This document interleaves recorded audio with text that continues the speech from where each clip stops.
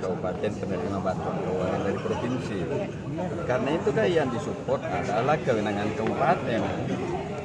Meskipun pada satu sisi kita bisa maklumi, karena bisa jadi bantuan keuangan itu turun dari provinsi setelah penetapan APBD di kabupaten yang ada sehingga mungkin butuh mekanisme entah perubahan parsial atau apa kan?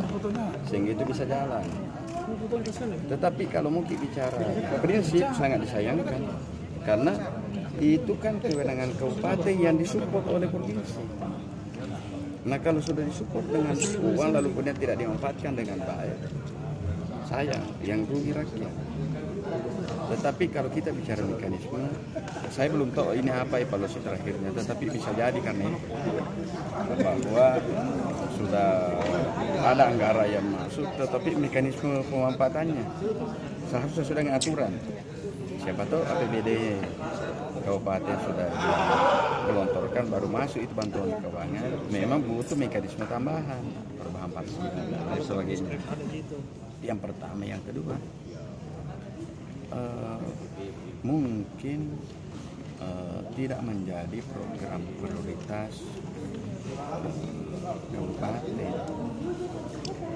sehingga eh, bukan itu yang eh, diprioritaskan untuk dilaksanakan. Tetapi eh, sesungguhnya eh, mestinya eh, tidak ada jalan lain harus dilaksanakan karena apalagi kita bikin aturan ini di Bangka. Kabupaten penerima bantuan keuangan tahun ini kita tidak kasih lagi tahun depan. Apalagi kalau eh, iya kita tidak kasih lagi iya karena sesungguhnya kan bukan kewajiban provinsi. Ini hanya political will provinsi untuk mendorong percepatan pembangunan infrastruktur khususnya dalam membangun interkonektivitas antar wilayah di kabupaten.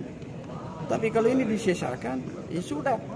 Bisa kita pertimbangkan eh, untuk dikasih daerah lain yang lebih siap